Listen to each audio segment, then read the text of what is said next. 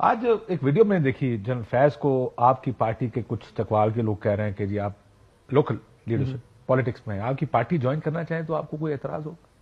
तो ये मफरूजा है कि वो ज्वाइन करना चाहते नहीं। हमारी हमारी पार्टी में और भी रिटायर्ड जर्नैल भी हैं रिटायर्ड फौजी बहुत सारे ऐसे चले मैं उसूली तौर पे हमें क्या एतराज़ एक दिन आपको फ़ोन करके कहते हैं sir I want to join तरीके मैं तरीके साहब ज्वाइन करना चाहता मैं मैं स्पेसिफिकली उनका जवाब इसलिए नहीं देना चाहता मैं उनको खामखे में कॉन्ट्रोवर्शियल नहीं करना चाहता। जिस वक्त वो फ़ोन करेंगे उस वक्त हम देख लेंगे। सिर्फ़ मैंने आपको असूली तौर पे बता दिया हमारी पार्टी में ना सिर्फ़ बहुत सारे रिटायर्ड फौजी हैं रिटायर्ड जर्नैल भी हैं हमारी पार्टी के अंदर।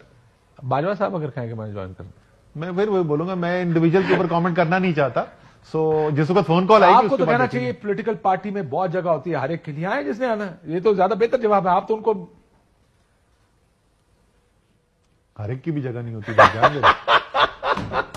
आपको पता है कुछ बड़े अच्छे वेल नोन पाकिस्तान के सियासतदान टीवी पे आकर ये बोल चुके हैं कि असद उमर ने मेरा रास्ता रोका। साहब कह रहे हैं कि हर एक की भी जगह हर एक की जगह नहीं होती। इनमें से किसकी जगह नहीं है? ये आप वो पूछते रहेंगे अगले पाँच मिनट जवाब आपको मिलेगा नहीं। कच्चे अड्डे भी नहीं सारी। चलो ये बताए दोनों की नहीं है ये कुछ एक ही हो सकता आगे चले यार। यार वैसे एक बात बताएँ। 2018 में एक हुकूमत बनी। असद उमर वज़ीर खजाना बने। फिर हफीज शेख बने। कहा गया असद उमर बहुत बुरा था। फिर शौकत तरीन बने बाकी सारे बहुत बुरे थे। गया हफीज की तारीफ़ कर।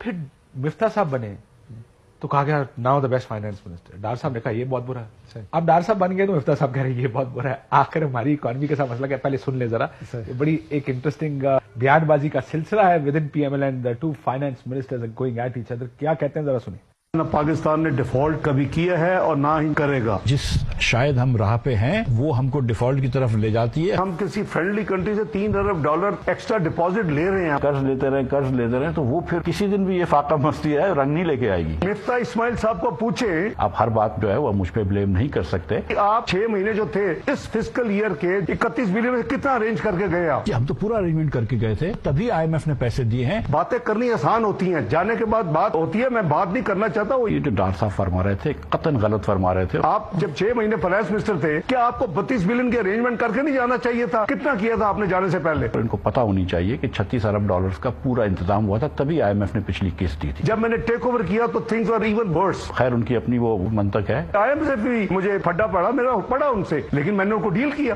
आपने जाके उनको आँखें दिखाई और आपने उनसे जो आगे पीछे किया I know how to complete the program ये मुझे मेरी समझ से बाहर है मैं आईएमएफ को मैंने हैंडल करना है मिफ्ता साहब ने हैंडल नहीं करना। सबको पता है कि डार साहब जो है वो गलती पे जा रहे हैं। फिर मुझे फ़ोन करके पूछे उनको बता देता। मैंने कहा मैं मर के भी नहीं पूछूँगा ये। I have never taken dictation I will not take dictation on these अदारा इस वक्त आप अफोर्ड कर सकते हैं ये चीज़ें करना। ये फ़िक्र ना करें मिफ्ता साहब हो या कोई भी हो। डार साहब का तो कोई पॉलिटिकल कैपिटल नहीं कैपिटल तो दोनों इन दोनों भाइयों का है। जी आईएमएफ जाने और मैं जानू। हमको कुछ चीज़ें तो करनी चाहिए ना। मुझे आईएमएफ से डील करना आता है। अब अगर आईएमएफ नहीं आएगा तो वर्ल्ड बैंक के पैसे नहीं आएँगे। मैं पुराना डील करने वाला हूँ मुझे 25 साल हो गए हैं इसी आईएमएफ से डील करते हुए।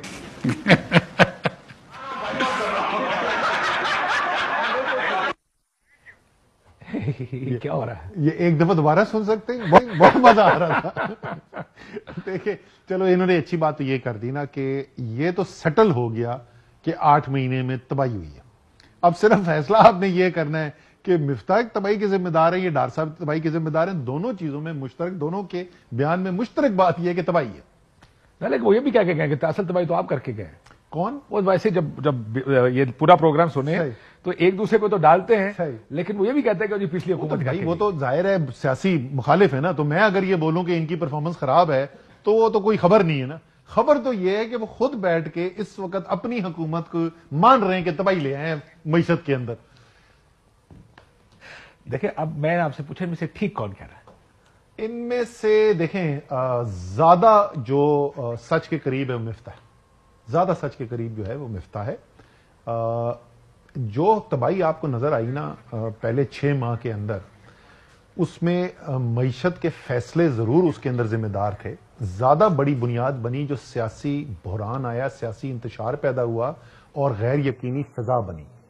तो मिफ्ता के छह माह के अंदर तबाही बेतहाशा ही मीशत के अंदर लेकिन मेरे ख्याल में उसका इल्ज़ाम मिफ्ता के ऊपर डाल देना जो है, वो ज़्यादा होगी। वो ओवरऑल जो हुकूमती कारकर्दगी थी, जो रजीम चेंज ऑपरेशन था, वो ज़्यादा बड़े जिम्मेदार थे।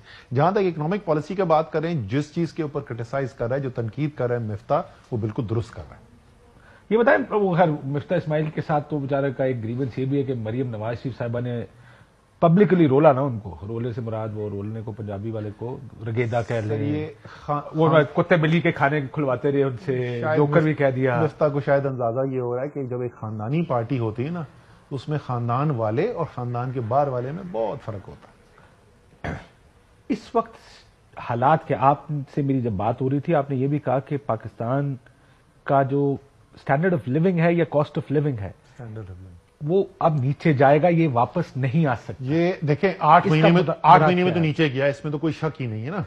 और मैं आपको ये बोल रहा हूँ कि ये इतने खतरनाक लेवल के ऊपर अब आ गया है कि अब ये हो सकता है कि permanent permanent in the sense के कई साल लगे यहाँ से निकलने के लिए। जो जो खराबी पैदा हो गई इतनी शदीद हो गई है और बिल्कुल सही कह रहा है मिफ्ता ये ये इस वक्त जो अभी कर रहे हैं ना पिछले दो महीने से जो हमने अप्रोच ली हुई है ये इतनी तेज़ी से तबाही की तरफ़ पाकिस्तान को लेके जा रहा है कि यहाँ से निकलना शायद फिर हमें सालों लगे यहाँ से निकलने के लिए। तो कुछ अरसे के लिए तो नीचे आते हैं, हम पहले भी कई दफ़ा हो चुके हैं, खराब हालत आती है, उधर से साल, डेढ़ साल के अंदर बाहर निकलना शुरू हो जाते हैं दो हज़ार अठारह में जैसे हुआ, उससे पहले हो चुका है कई दफ़ा पाकिस्तान के अंदर। लेकिन जहाँ इस दफ़ा पहुँच गए हैं, ये जो इस वक्त खराबी पैदा हो रही है और ये जो इस वक्त लोगों की ज़िंदगी और स्टैंडर्ड लिविंग क्या चीज़ है जी?